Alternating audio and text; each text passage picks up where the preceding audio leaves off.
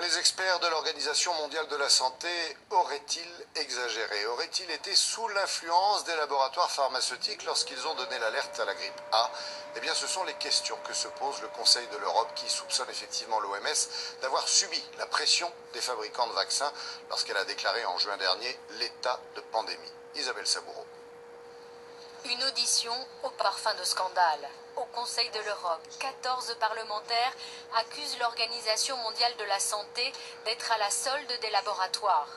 L'OMS aurait surestimé le nouveau virus de la grippe pour faire vendre des vaccins.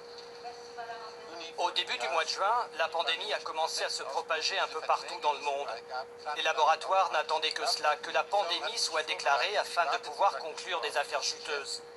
Le 1er juin, à Genève, la grippe est déclarée première pandémie du siècle et dans la foulée, les pays commandent des centaines de millions de vaccins contre un virus finalement peu mortel. Les conseillers de l'OMS ont-ils exagéré cette pandémie à des fins commerciales? Le premier d'entre eux, l'influent Dr Osterhaus, est accusé de corruption aux Pays-Bas. Il aurait favorisé les laboratoires. Ces scientifiques, souvent liés et rémunérés par l'industrie pharmaceutique, sont attaqués pour conflit d'intérêts. L'OMS dément.